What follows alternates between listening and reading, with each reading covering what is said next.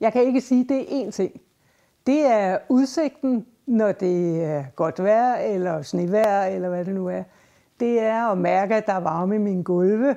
Det er en vinterdag at tænde op i pejsen og sidde og nyde det. Der er så mange ting, som i forskellige situationer, hvor jeg tænker, åh, oh, det er fedt. Åh, oh, hvor er det godt. I 2017 besluttede Marianne Skovgaard sig for at flytte fra Hillerød på Sjælland til Højrup ved Tavlo for at nyde sin pensionsalder i landlige omgivelser. Det blev starten på et eventyr med en husrenovering, der har resulteret i nominering til Renoverprisen. Jeg kommer fra Nordsjælland, øh, og jeg har nogle rigtig gode venner. Der er jo to huse på den her ejendom, to beboelseshus på den her ejendom. Og øh, de var på udkig efter et hus. De skulle væk fra der, hvor de boede, også i Nordsjælland. Og øh, jeg har ikke noget sådan familie, så jeg havde brug for, når jeg nu blev gammel og lige skulle nogen, have nogen til at kigge efter mig, at øh, jeg så fandt det. Så på den led endte det med, at øh, vi kiggede efter et sted, hvor vi kunne være begge to. Det var ikke ret nemt at finde.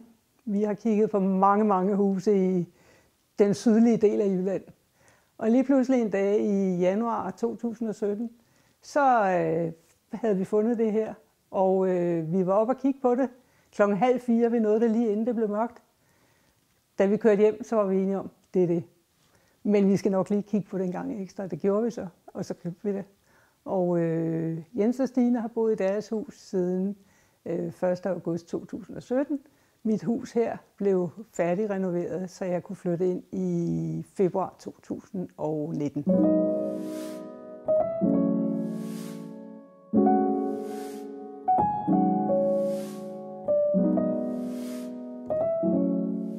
Vi havde jo været ude at se på fire huse, fordi vi var nødt til at planlægge det på den måde.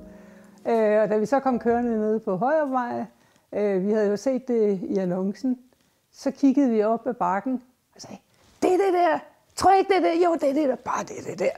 Øh, og så kom vi op, og det var det der. Øh, og det er vi utrolig glade for. Vi er stadig meget, meget glade for at bo her.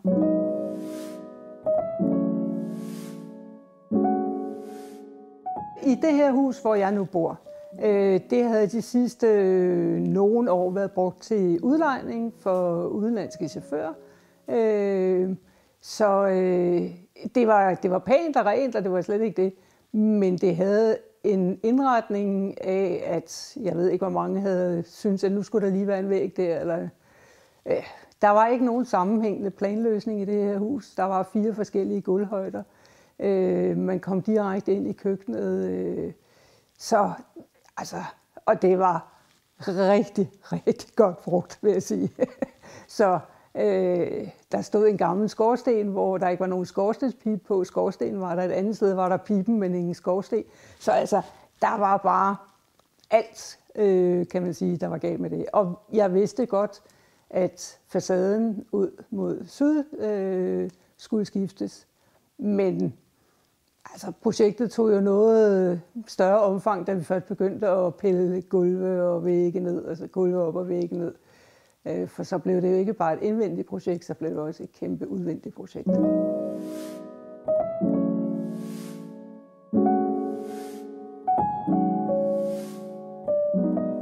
Fra da jeg arbejdede, kendte jeg en arkitekt, og ham tog jeg kontakt til og sagde, nu skal du se, hvad jeg har købt.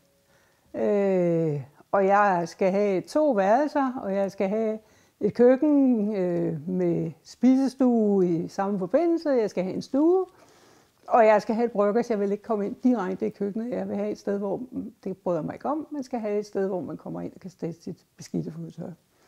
Og så gik han hjem og overvejede lidt på det, og så har det jo sådan ved, ved fælles sparring, vil jeg sige, han havde de professionelle idéer, og jeg havde sådan noget, nej, det synes jeg ikke, og jo, det lyder meget godt og sådan noget. Øh, så nåede vi så frem til, som det ser ud i dag, med den planløsning, det har i dag.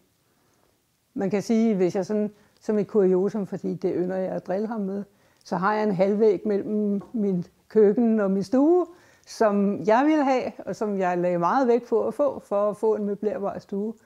Og han synes, det var en rigtig, rigtig dårlig idé. Og så sent som da vi begyndte at snakke om, at nu skulle der lægge gulv, så sagde han, jeg får lige tømmeren til at lægge gulvet ned under den der skilvæg, så du kan fjerne den, når du bliver træt af den.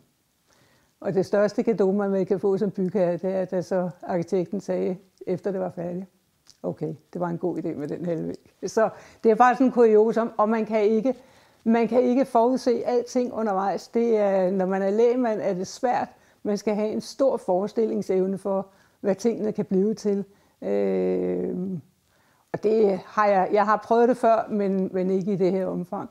Så, øh, så man skulle virkelig bruge sin fantasi på at se, hvad det var. Men jeg vil sige, jeg har for første færd kunne se, hvordan mit hus så ud. Ikke i detaljer, men at det ville blive meget lige det, det nu er blevet.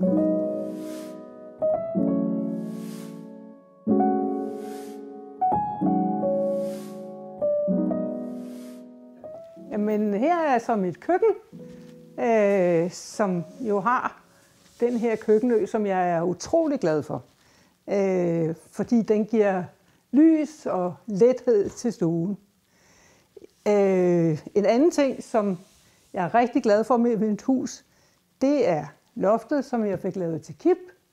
Der er sat sådan nogle lydplader på for at dæmpe lyd. Det synes jeg ikke var nogen god idé. Det synes tømmeren var en god idé. Og det er jeg glad for, at jeg fulgte det råd, fordi det har været virkelig dejligt. Men det var jo lidt svært at komme til at få lavet loft til kip. Øh, det er et rigtig gammelt hus, og der har været øh, høloft engang. Så øh, alt er jo blevet revet ned, og der er sat stålspær op for at holde taget, øh, så man kunne lave det her loft til kip. Så det har jo været en større historie at nå her til, hvor jeg er i dag, men jeg er rigtig glad for det. Jeg havde jo med, altså det skulle indeholde det, køkken nu skal indeholde.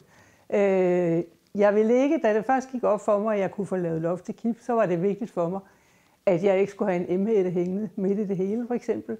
Så jeg har fået en emhætte, der er sat ned i bordet. Øh, og når man laver sådan nogle projekter, så er man nødt til at tænke sig rigtig, rigtig godt om, for det skal jo have noget aftræk. Så aftrækket er i virkeligheden ført ned igennem gulvet og op til den skorsten, øh, som stadigvæk er i brug, men kun til udsugning. Og sådan nogle ting kan det jo ikke nytte noget, man kommer i tanke om, når huset er færdigt. Det skal man jo tænke over nærmest, inden der overhovedet bliver lagt øh, gulvvarme og støbt. Så øh, der har været mange udfordringer, mange ting, som man skulle tænke på undervejs.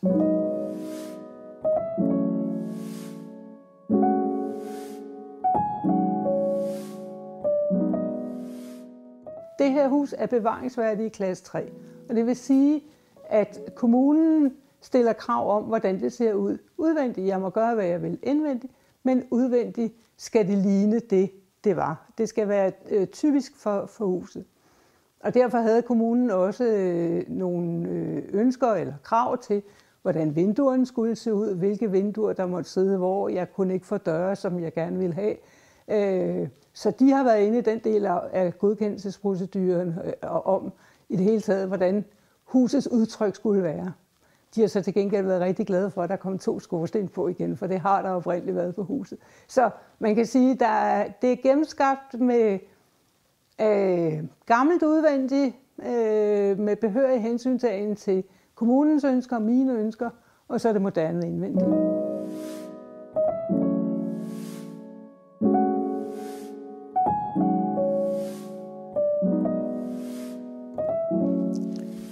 Så er vi kommet ind i stueafdelingen. Det er jo et stort rum, i virkeligheden mit køkken og øh, min stue, som kun er adskilt af min pejs, som jeg lagde meget vægt på, jeg gerne vil have. Øh, stuen er jo næsten husets højdepunkt.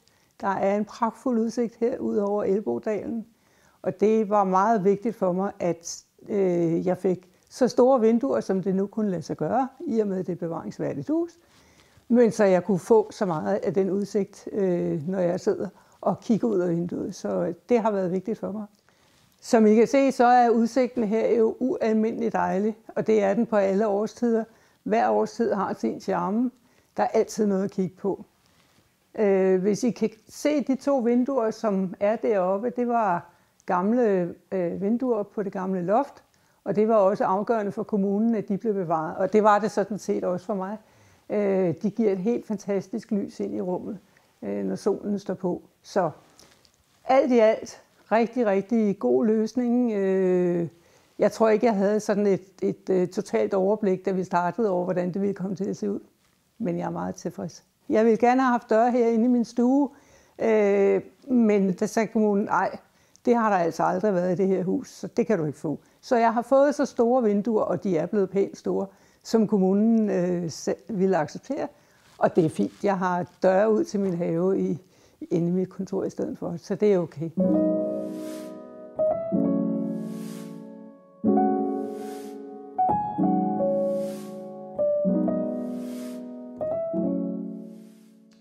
Det er mit dejlige kontor. Og der er jo nok nogen, der vil tænke, hvad skal man med et kontor, når man er gået på pension?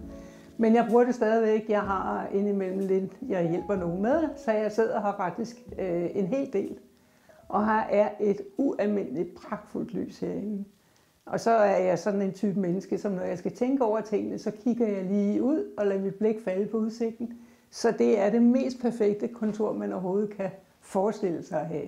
Og så er det jo herinde, der er udgang til min øh, have, en af udgangene.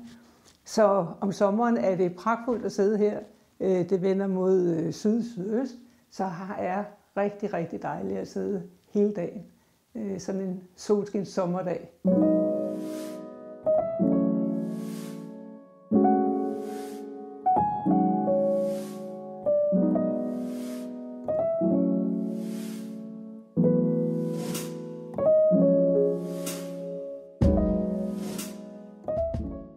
Sidste år øh, havde min arkitekt øh, gjort mig opmærksom på, at der var noget, der hed renoverprisen. Og der snakkede vi lidt om det. Det blev så af forskellige grunde ikke til noget. Så ringede han til mig lige her for tilmeldingsfristen udløb, jeg tror det var 1. marts, sagde, hvad så, er du frisk? Jo, jo, det var jeg. Nå, fristen er i morgen, kan du ikke lige... så jeg fik øh, fundet nogle billeder frem, og øh, fik skrevet en beskrivelse af det her projekt, som jeg har været igennem og sendt afsted. Og så har jeg sådan set ikke tænkt så meget mere over det. Øh, så forleden dag, så fik jeg sandelig besked om, at øh, ud af de 128 projekter, der var sendt ind, der var der 18 nomineret, og mit var et af dem. Og jeg vil sige, det var jeg bare rigtig glad for og rigtig stolt over, fordi jeg synes selvfølgelig, det her er noget specielt.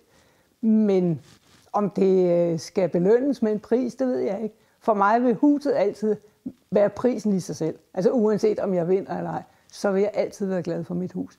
Men, men det er da dejligt at høre, at der er nogen, der kan se kvaliteterne i det, der er lavet. Og at der blev brugt penge og kræfter på at sætte sådan et gammelt hus i stand. Altså, jeg havde ikke bare kunnet rive det ned, sådan, hvis jeg havde ønsket det. Det ville kommunen formentlig ikke have godkendt. Men øh, jeg havde heller ikke noget ønske om det. Jeg synes, det er spændende. Jeg synes, det er sjovt. Huset har en sjæl, som jeg aldrig ville få i et nybygget hus.